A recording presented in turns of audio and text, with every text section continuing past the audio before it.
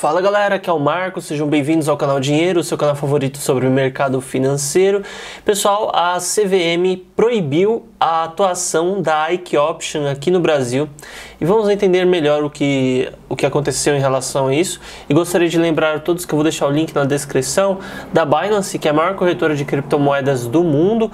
E caso você o utilize para se cadastrar, você vai ter 15% de desconto em todas as taxas de trade. Então, para quem está começando, para quem faz trade, para quem usa grupo de sinais, robô de operações, é uma opção bem interessante, tá?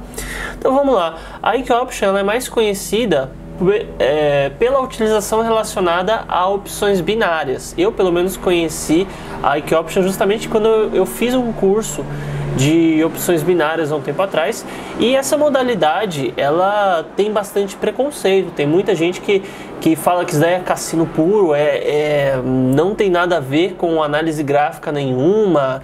Enfim mas a gente conhece as opções binárias bastante pela galera que esbanja, né? Parece até os piramideiros, né? Que gostam de mostrar relógio que ganhou lá no marketing multinível doido, o carrão de luxo e tal, que é uma coisa que muito tem a ver com quem participa de pirâmide financeira. Mas, né, enfim, eu, eu particularmente não considero como pirâmide. Mas olhando para o foco Oh, eita, teve barulhão aqui, mas acho que não foi nada.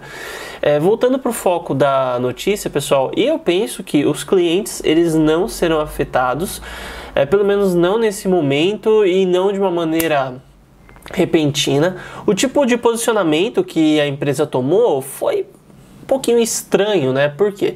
Porque o que a CVM diz em sua declaração é para parar de captar clientes no Brasil. E a empresa, ela fez um, o mesmo entendimento que, por exemplo, a Atlas fez há um tempo atrás, falou assim, não, peraí, os clientes que já estão vão continuar operando normal, quem a gente já tem aqui na casa é, não vai ter que parar nem nada. A gente só parou a parte de marketing, não vai mais divulgar para o público brasileiro.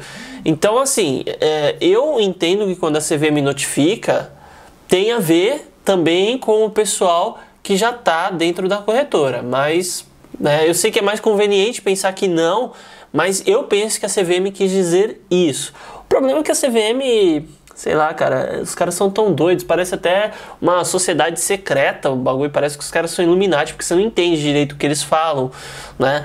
Mas, pela lógica, eu penso que os clientes em si eles não serão afetados, não nesse momento, mas eu gostaria de falar uma coisa para quem é youtuber. Tem muita gente que é, que é youtuber, trabalha com opções binárias e talvez algum assista o meu canal Cara, fica muito esperto quanto a isso. Se você publica vídeos falando da IQ Option, de opções binárias e coisas correlacionadas, porque de fato é, você não pode ofertar é, ou é, fazer contratos é, de contrato coletivo de investimento relacionado a opções binárias, nem oferecer nada relacionado. E a, e a ela tem um linkzinho de referência que você indica para as pessoas. Então toma cuidado, porque uma hora ou outra o YouTube pode considerar que você está indicando jogos de azar ou coisas relacionadas a isso, tá? Então fica bastante esperto é, para não ter esse tipo de problema,